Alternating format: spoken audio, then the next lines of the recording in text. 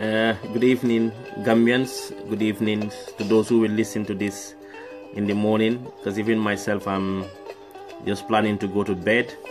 Uh, but I did promise um, some people who followed or listen to uh, some of the audios we make on the WhatsApp that I will record a short clip on the need for Gambians to understand the media and to understand the different types of media going on or sort of being practiced by the different Gambians. Um, since personally I'm not a journalist, but I've been friends with a lot of journalists and I've and I've contributed my little quota since the old Gambian.net. I think among the first Gambian uh, online newspaper uh, you know, so I can at least say a thing or two about the media and the evolution of the Gambian media. You know, how the Gambian media is changing. Uh, you say my connection is weak.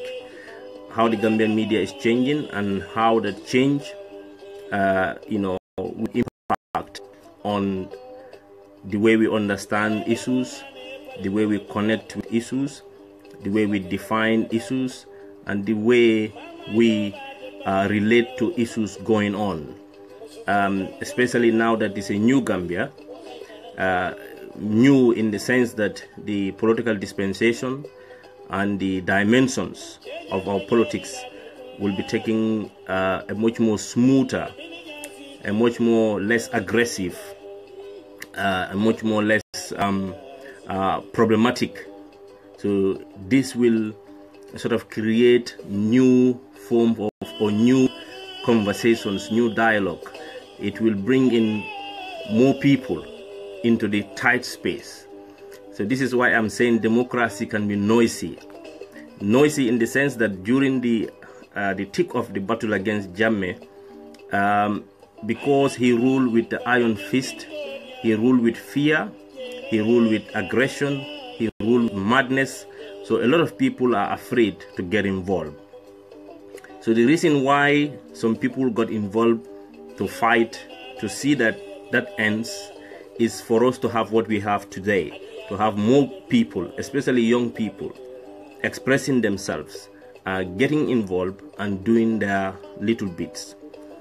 The reason why it is very paramount and important uh, for Gambians to understand the different styles of media, the different brands of journalism, whether it's radio journalism, whether it's print uh, journalism, or whether it's online journalism, which is what we are used to now, the online newspapers, uh, is for Gambians to realize that now you can monetize the online press. You can make an online newspaper like the Freedom newspaper, uh, you know, into an income or money making, uh, gener money generating venture. In the sense that you have a lot of Google ads, you have a lot of um, sites um, linked to it. Each click would generate few pence. Is it pence you call it in America? It's not going to be a dollar, maybe five cent or something like that. But the more people that click on it, the more money you make and what will make people click on the uh, an internet link or a news website? What will make people click on it? It's the story headline. What headline are you creating? It's not about the content. It's about the headline. Because the headline is the most important thing in an article in a news article. The content what is written uh, very few people will bother really what is here they just first of all read bomb bombshell as Pa Nderry will say bombshell breaking news. Now breaking news what what has broke? What, what's going on? So you see breaking news. Saul Badjie about to coup Jammeh. we all those who can read behind the lines know that Saul Badjie will never do that. But you know yeah thank you very much sister umi. Thank you. So you know when when when you see the headline you click. Unbeknown to you when you click Pa Nderry is making money. Now, you create an app, and then this app, you monetize it. The more people that tune in to a program, the more money he's making. Now, if you make a nice program, educative, less people tune in because we are all by nature, you know, we want to hear scandals. We, we want to hear about the worst things about other people. that is naturally human. It's not just the sisters these days, um, Sister Umi, it's even men want to hear worst things about other people. So, this way, the more such radio programs are going on, bad things when you're talking about others and you're talking ill of them, the more people that tunes in. So they're making money. So in this new Gambia, the reason why I wanted to record this few minutes audio is to differentiate, is to explain to people that even in the print media in America or in Britain where I am, I have followed the media here for a long time. And one of the best books to understand the current media, especially the, the, in England here, we call them red tops. I don't know about America. Red tops are newspapers that wrote about scandals. They don't write much content, but they will put a lot of pictures in it, very nice, beautiful women in the front page. So you are curious to to check, you know, attention getters, you know, something like that. Yeah, thank you very much. So Pa Nderry, per se, for, for the freedom, he styled himself according to the fox. If you watch the evolution of Pa Nderry from the beginning, he started by putting Fox News. When he's sitting down, if you watch him sitting, Fox News will be at his background because he was addicted to Fox News and he copied that style of, of that, uh, you know, Fox News. Uh, you know, so by copying that style of Fox News, he has evolved himself to be Mr. Nasty so he can switch from a nicer personality into a nasty personality depending on the audience. How do I draw the audience in? So one of the best books, which when I started reading it, I couldn't put it down, was a book by Piers Morgan. Piers Morgan, you American guy, Gambians in America will remember he was uh, when CNN, one of their long-time uncle, retired. He went to took the job, so this is the book. Although for some reason my connection is poor, this book is called The Insider. Okay, I think I'll turn the camera so that uh, people can see it properly. Okay, so this is the book by Piers Morgan. It's called The Insider. Okay, the connection might be weak. Uh, but you can see you can see you can see the title very well so the insider if anybody can buy this book when you start reading it you will not put it down. Okay? Because this this book will capture everything you want to know about the way Pa Nderry operates. He is just just one percent of the average Western nasty editors or red tops journalists, they will pay girls to entrap footballers. They will pay, you know, young men to entrap rich women. They will do anything for a story. Okay? They will do anything to twist a fact. They will do whatever. If everybody is in this way, they'll go that way. You know, however nice a person is, they can turn you to what you are not. And it will take ages for you to clean yourself, to clarify yourself, because they enjoy that. And if if if you follow some of these people, they are really actually in reality they are really sad, because anybody who try to make money out of creating misery, excuse me, end up being very sad and depressed, because naturally as human beings we want to be feel at home, relaxed, at ease, so anytime you want to make people unhappy, you yourself become unhappy. So, and they became very lonely and isolated. So in this book, Piers Morgan uh, went into detail uh, to talk about how Robert Murdoch, the owner, uh, you know, um, let me show you the book again. Okay, th this is the book. It's called The Insider. Okay, you can see all the celebrities of England to the Prince Princess Diana, you know, uh, uh, yeah. You know, the book in, in actual fact is talking about his the connections he has with the high class society of England, the rich, the famous, the politicians, the royal family, just anybody who is who. And sometimes how these people actually makes um, they will call him to make a story out of them. Sometimes uh, some of the you know young ladies will tell him that oh you know Piers you know we're just having a nice time with somebody at such and such place. They are not telling him send a paparazzi or a photographer, but they're actually telling him well if you want to we will be there. so so but because a lot of young Gambians uh, don't actually connect with these things, the moment they see a headline, they believe it. When you hear bombshell, you know, when you hear breaking news, you, you think, well, that must be true. Not all breaking news actually true. And when we evaluate most of what Mr. Park comes up with, you will actually analyze that maybe 25% is true, but 75% are mostly false. Most of the time, 75%. You know, so he monetized himself and his paper. So this is why I am appealing to a lot of young Gambians not to get drawn up or over angry with him. He's, that's his job. He makes money out of doing what he does, and this is how he survives. Uh, this is how he lives his life.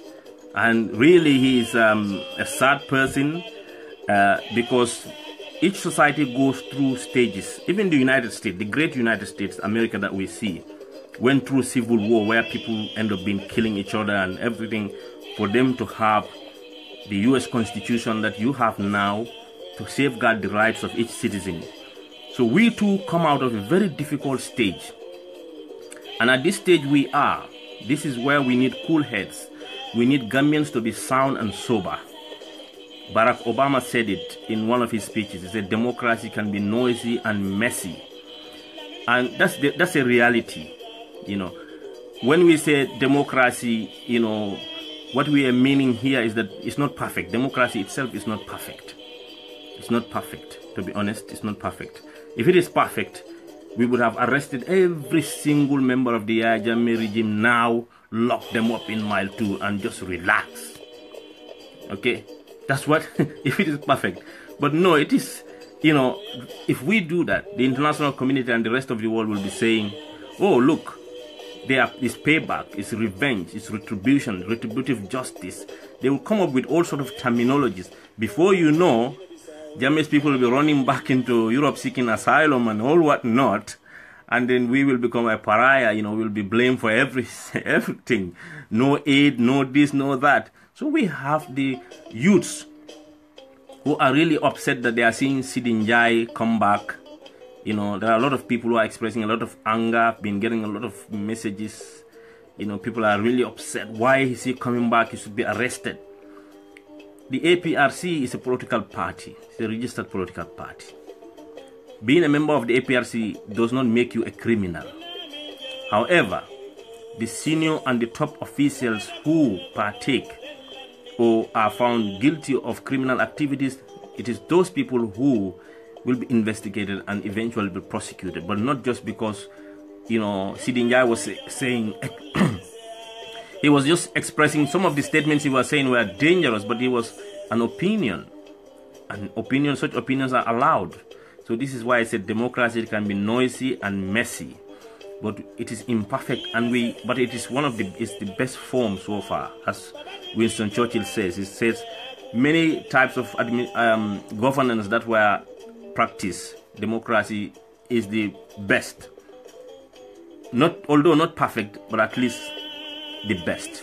So as gambian youths as young gambians you know we need to embrace this and we don't have to be retaliating to some of the things that Jammeh and his people did. And a lot of Gambians want retaliation, they want payback.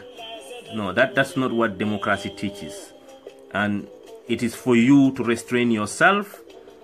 It is for you to realize that uh, the rule of law, although sometimes it can be slow, but it can be as equally, um, you know, effective, you know, in, in, in maintaining order in our society. And that's what we want. We want all of us to be equal, free, loving, and caring. Because the moment we lose that love and care and compassion, don't call yourself a Muslim. Don't call yourself a Christian. Okay? Because you will be doing things that those same scriptures that you want to be guided by teaches against. We have all seen in, in Syria, in other societies, where when they took the law into their own hands, they go out killing each other for nothing. They destroy their own properties, their own communities for nothing. So the moment we allow anger to take over us, it destroys us. It destroys us. So as Gambian brothers and sisters, let's not allow the likes of Pa Nderry to drive us to be angry at each other. And let's not allow such kind of journalism to be the dominant. In the West, yes, it's very famous, but people don't take them seriously. In England, every every day, I think the Sun newspaper, which will put naked breasts of women in page three, I think they sell three million copies a day. Some men will buy and just flip to page three. I've worked in construction sites in England here. I've worked in offices. I've worked in, you know, as a student in uh, Boca King. So I, I, you know, I know the in and out.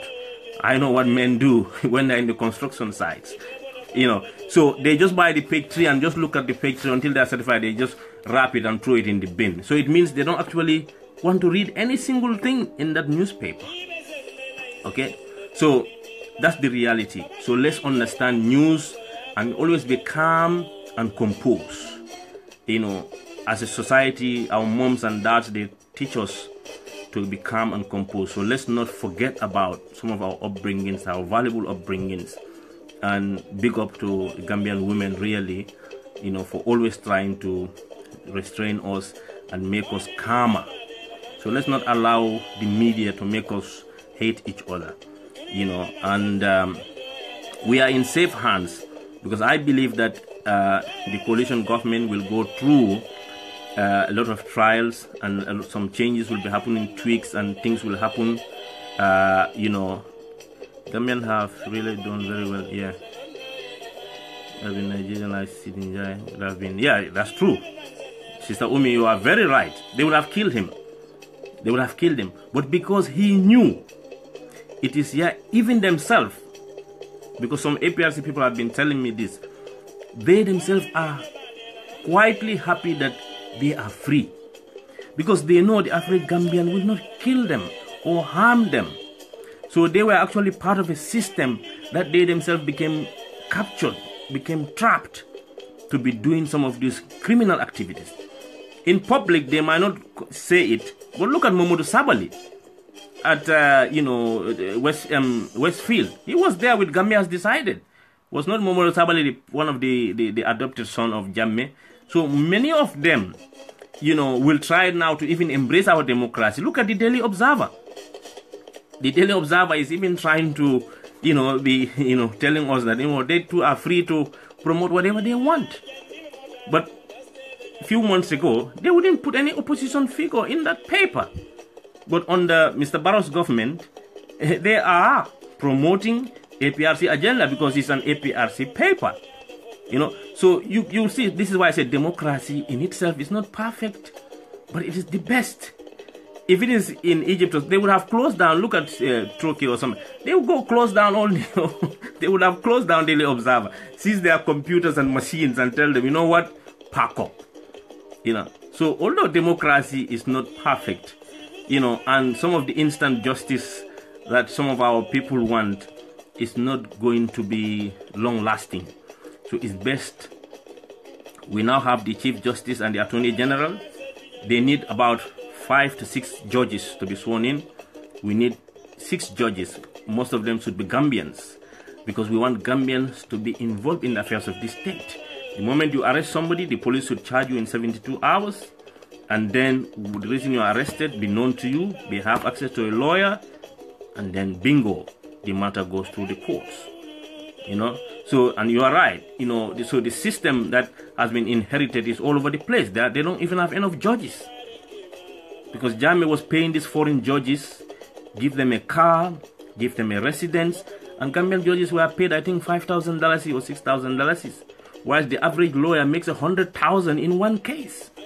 So who will leave a hundred thousand dollars in one compound dispute, land dispute, and go and accept five thousand dollars or six thousand dollars to be a judge, whilst the Nigerian judges were paid hugely and uh, they were also given a free accommodation. They don't pay any rent. They were given a free car with fuel and a driver.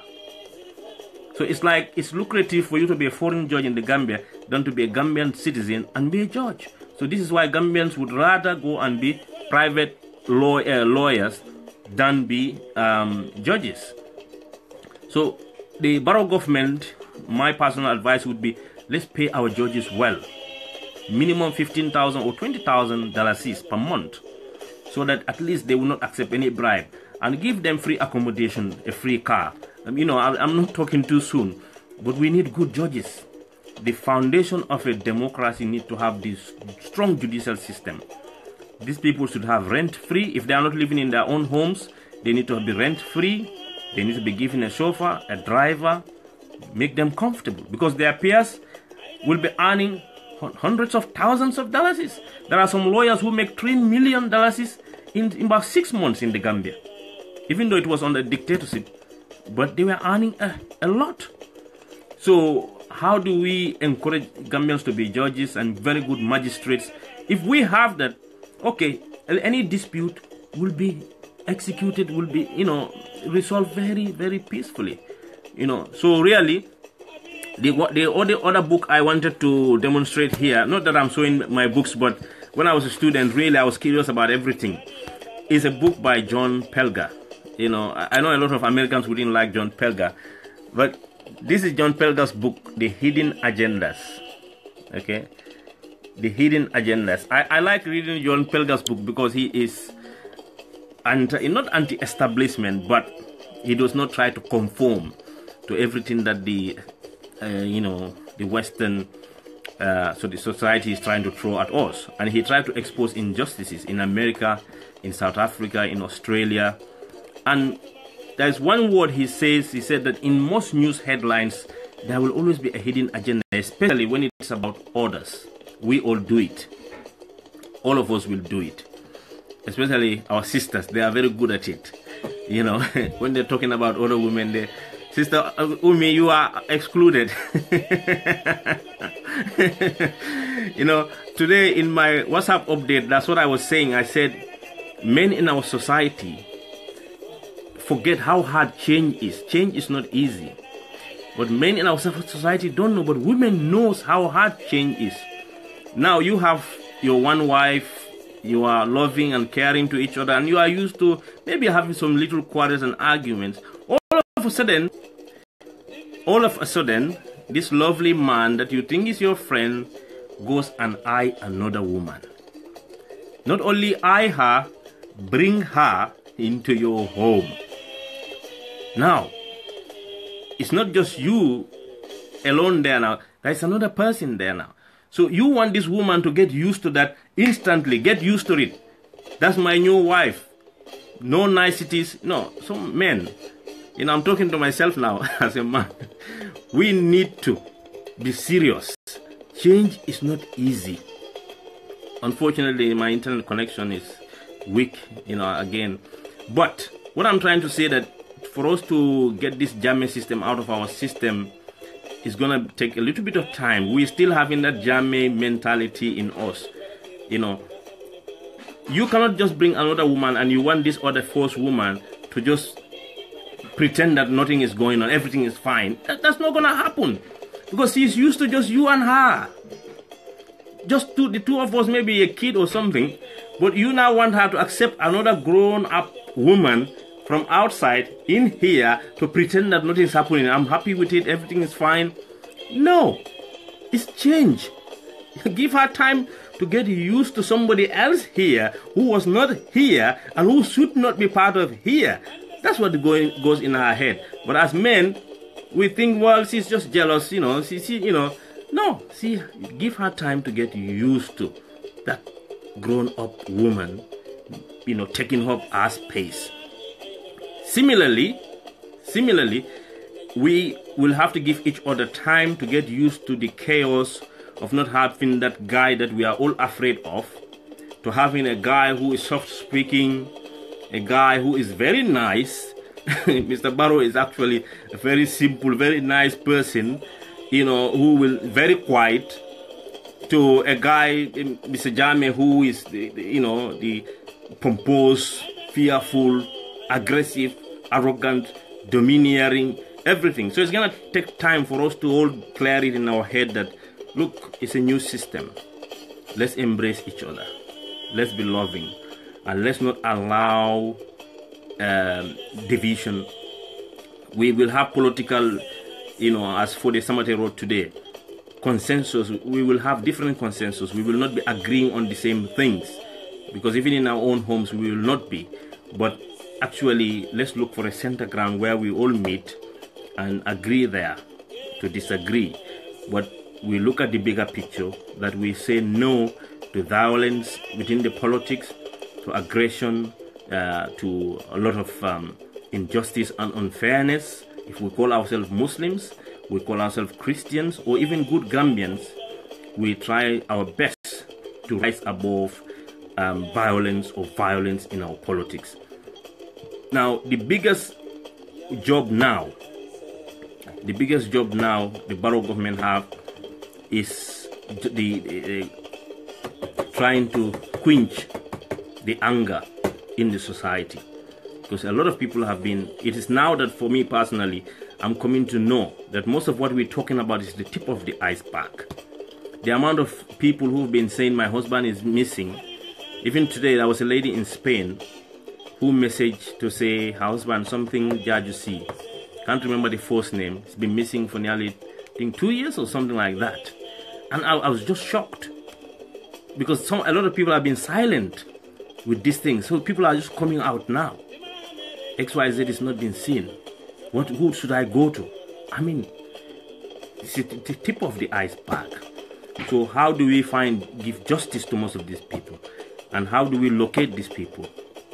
How do we make sure? So we should all be suggesting ideas now my suggestion is that we get back into the Commonwealth as soon as possible. I talk to the British authorities because they have very good police officers who can, you know, detect a lot of things. If, if uh, hidden graves and everything, they have these machines. America is far away, but Britain, they, are, they have a lot of retired, very excellent police officers who can help us get back into the Commonwealth, take these people down there. You know, to Nigerians also to provide experts, Senegalese to provide experts, and you have that special team who will not be part of the government but they will be helping families identify graves identify those issues and then the prosecution can start. Even even after the three years but at least we start somewhere to identify issues to make sure wounds are healed.